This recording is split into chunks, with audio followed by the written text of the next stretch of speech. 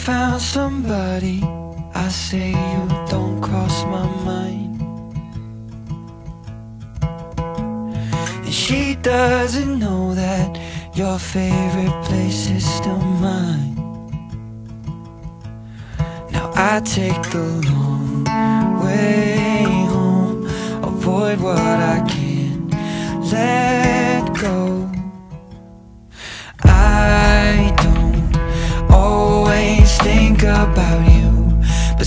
sometimes I do.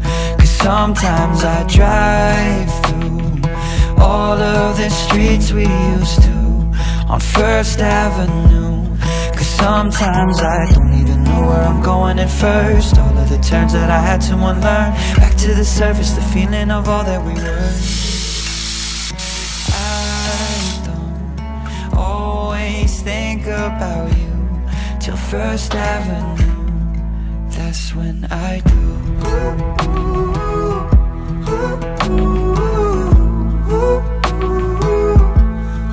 That's when I do.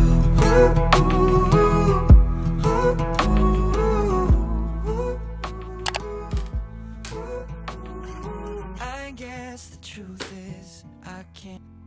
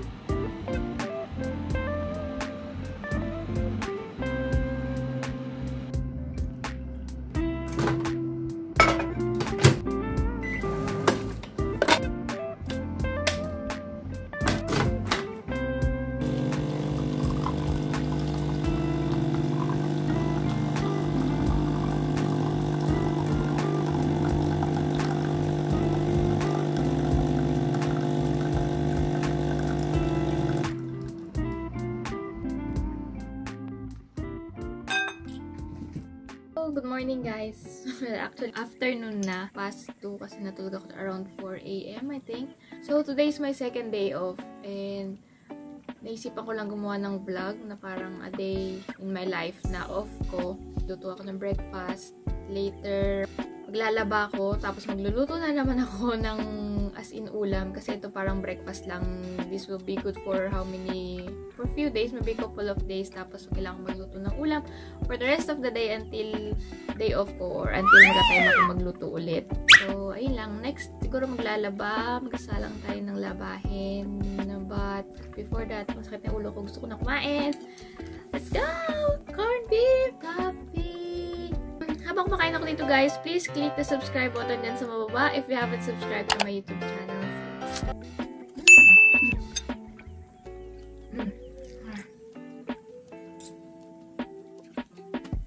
Don't know with you guys, pero ako kasi parang fine corned beef, very comforting kasi, wala lang. Basta anything na parang mga silog-silog. Anyway, yung rice ko pala hindi pala to sining sinangag. White rice to with brown rice, pinag-combine ko lang. Kasi kapag pure brown rice, parang antigas. So, hinalo ako ng white rice.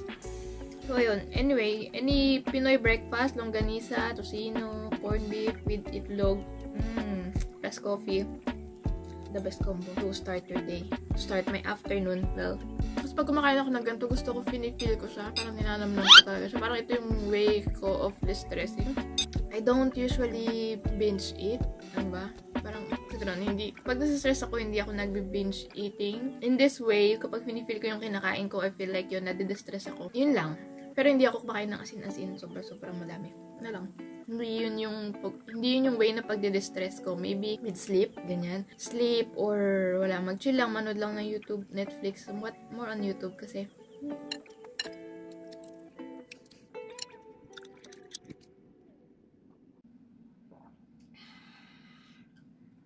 cloudy na naman sa labas. Sobrang gloomy. Buti na lang I don't have plans of going out. So, yeah. Dito lang sa bahay. Chill. Hmm, at! Meron pala akong gagawin later. Mag-unbox. Sana ma-unbox ko. ah,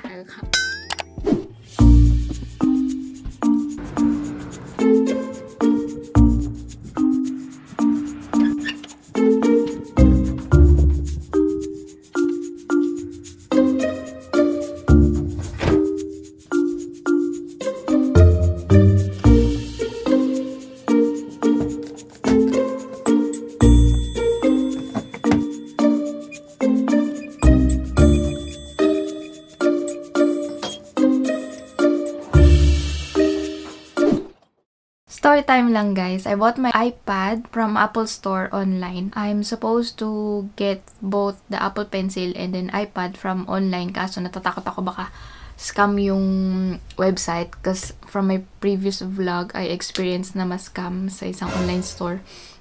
So, I've decided na yung Apple Pencil munang bilhin dun sa online. What I am most excited about it is that I was able to have my Apple Pencil engraved sa online than if bibilin mo siya sa mga physical store, I mean, like Noel Liming. So, I got my Apple Pencil first because it's cheaper than the iPad. And, ayun, I got it engraved. Later, makikita nyo kung anong pina-engrave ko dun. And try ko munang bilhin yung mas mura dun sa online just to see if it's really legit at kung darating talaga siya na totoong Apple Pencil or whatever Apple product. So, yun. Dumating naman yung box. So, hindi pa natin ko, hindi pa natin nabubuksan. Malalaman natin kung legit talaga. And then, hindi na ako makapaghintay. Sabi ko, bibilin ko na lang yung iPad mismo sa physical store dito. Pero hindi siya Apple Store. Uh, parang it's a third-party retailer. Whatever. Ganon. Which is Noel Liminga. I got my iPad there. Tapos, yun. Bumili ako ng mga screen protector. Kaso, nandun pa siya sa friend ng ate ko na pumunta dito na New Zealand. Kasi, hindi ako bumili sa store dito kasi masyadong mahal. Masyado siyang original. So, binili ko siya sa Shopee, tapos pinadala ko sa kanya, tapos papadala niya sa akin. Anyway, yun lang. Let's go to our unboxing.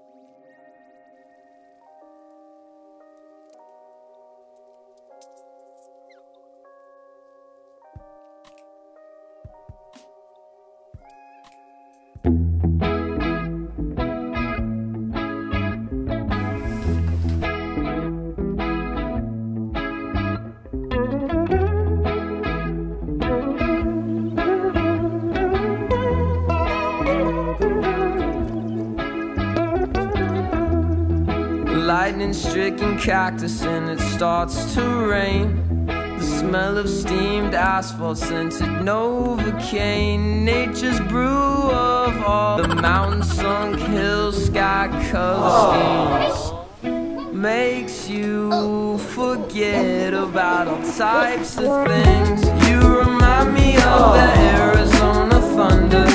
Satisfy the times and make you about the bigger picture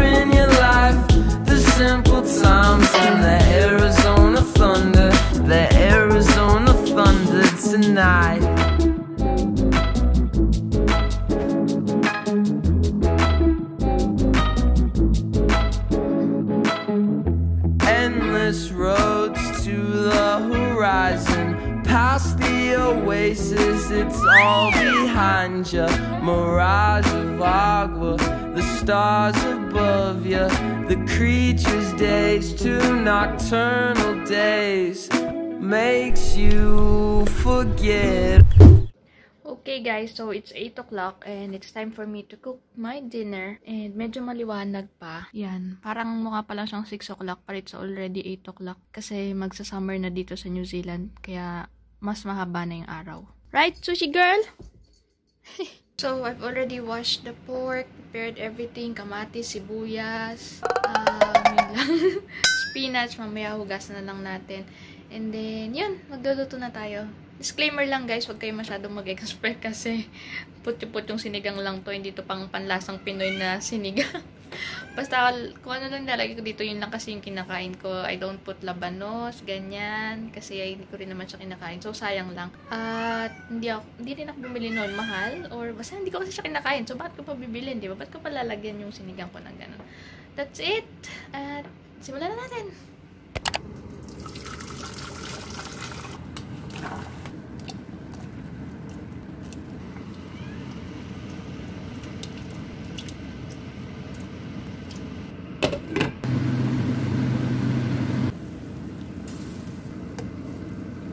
Habang nintay natin maluto, mag-prepare muna tayo ng baon for tomorrow. There, yung corned beef na niluto natin kanina, yun din yung ating babaunin for tomorrow.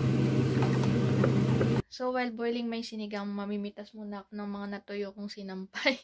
Tapos magtitiklop tayo, guys. And I hate magtiklop, pero but nilang, pailan-ilang lang naman yung mga damit ko. Hindi siya as in bulto-bulto. So, yeah. Tiklop muna tayo.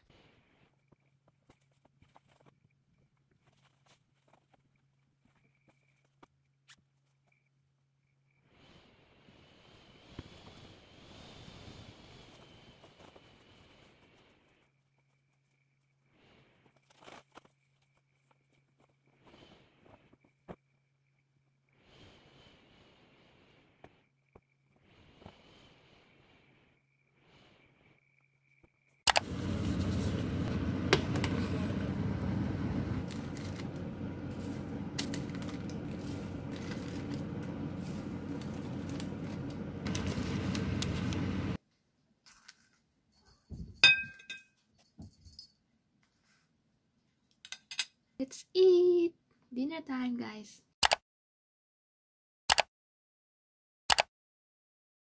She's a Mona Lisa.